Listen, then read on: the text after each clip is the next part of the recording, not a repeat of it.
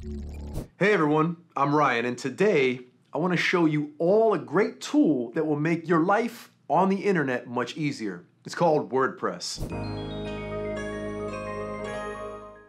HTML, code, learning new languages, it can all be so complicated, right? WordPress makes creating a website or a blog a breeze. It gets rid of all that complicated internet jargon and gives you all the tools you need to make a website. So today, we're going to show you how to use WordPress to make your website or blog. WordPress is the most popular website builder on the web. So popular, in fact, that approximately one third of the internet is built on WordPress. Bloggers, small business owners, and Fortune 500 companies use WordPress more than all the other building options combined. You can create any kind of website or blog without code, manuals, or limits. As important as it is to know code in HTML, WordPress breaks that down for you so you don't have to. So, how do you get started? It's as easy as clicking a button. The first and simplest step of your website building journey is registering on WordPress. Once you create your username and password, you'll create a web address. Your web address is essentially the address to your online home where people online can find you and your content. Now, if you want to customize your website's address on WordPress, you'll need to register for a plan that lets you. With the right plan, you can even remove the WordPress portion from the web address if you'd like. WordPress has four different plan options free, personal, premium, and business.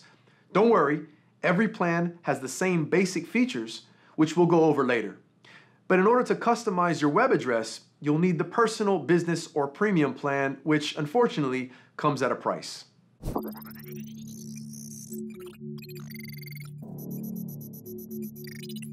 Once you've registered, created your web address, and chosen a plan, you'll have to get a profile.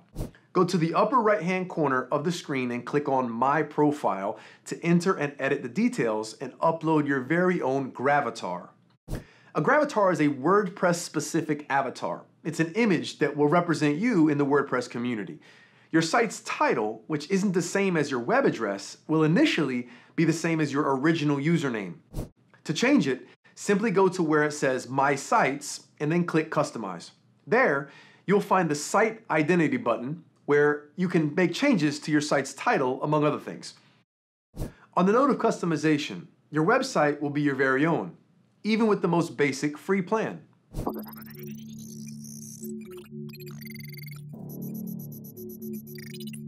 You can change the layout of your website or blog on WordPress with any of the four plan options, including the free plan. WordPress provides users with an abundance of different themes to choose from, letting you change the theme of your site or blog whenever you like. The customization doesn't stop at themes. You can change individual parts of your site. For example, the header of your site can be customized, with most themes allowing you to change the image being used. This is as easy as going to the My Sites tab on WordPress, then clicking on Customization and selecting Header Image.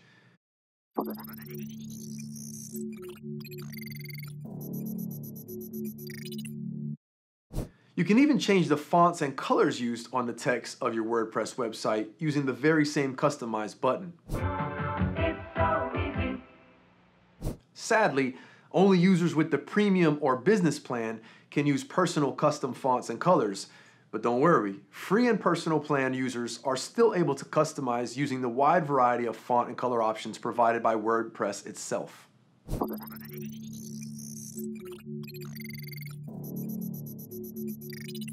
Once you've created your website or blog, it's time to publish content. WordPress has two different options for publishing pages and posts. A post is an update to your blog or site. The newest posts will appear at the top of your site, and the oldest will appear at the bottom in reverse chronological order. These posts can be shared by users on and off WordPress, commented on, and liked. Oh, and you'll be able to like, comment, and share other WordPress content you see as well. To create a post, just head over to the My Sites button, click on Site, and select Posts. There you'll find the Add New Post button. A page, on the other hand, is on off type content like the About or Legal Disclaimer page found on your site.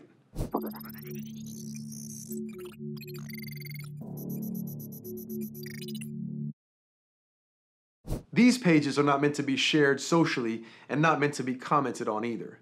You wouldn't want users to comment on your legal disclaimer page. The difference is that posts are timely and pages are timeless. Creating a page is virtually the same as creating a new post, except you'll click on Add New Page instead of Add New Post. Your post should be constantly updated while your pages could be edited pretty infrequently. Pages are hierarchical in nature and can have subpages or child pages within one page. Think of a family tree, but for web pages. Your About page can have subpages to emphasize or reiterate points, for example. Your posts, on the other hand, aren't hierarchical because they're organized by categories and tags.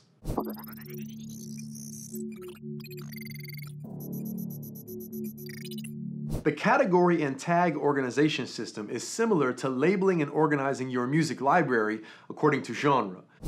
Let's say you're creating a site or blog where you'll be posting movie reviews.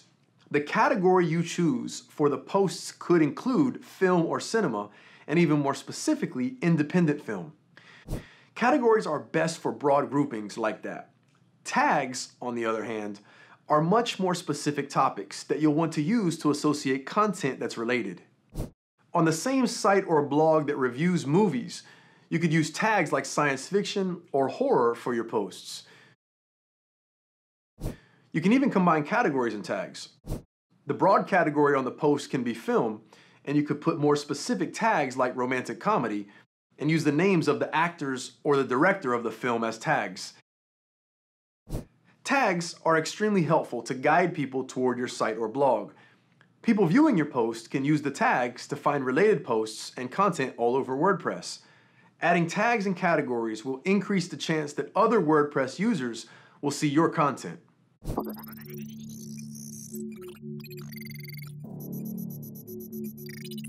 WordPress doesn't only give you a blog or site, it also gives you your reader. Your reader is where WordPress will take you when you log into the site, and it's where you can read posts from sites on and off WordPress. You'll be able to customize your reader by following blogs and sites that you like, similar to following different profiles on Instagram or Twitter. When you find something you enjoy reading, you can like it, comment on it, and share it to your own blog or site. That's actually a great way to attract readers to your own blog or site because users will see your presence outside of your own site or blog. You can choose sites or blogs to follow by searching for tags that interest you. If you want to see more content about knitting, for example, search for knitting in the search bar or by clicking on tags, then opening tools, and then add. By clicking follow on that blog or site, it'll appear in your reader, and your reader will be constantly updated with posts from that blog or site that you follow. By navigating to right at the right hand corner of your reader, you have the ability to post anything you see in your reader directly to your blog effortlessly.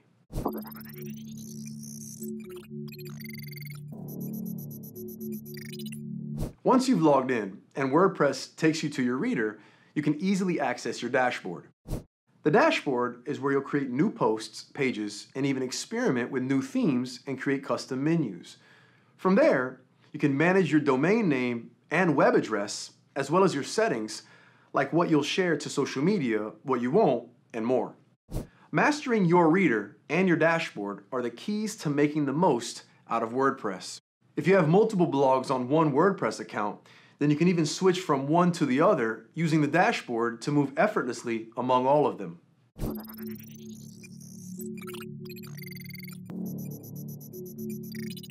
As important as it is to know how to code and how to communicate using HTML, WordPress is a handy way to simplify creating your website. Experiment with it. Create blogs and sites and use your reader to follow other blogs.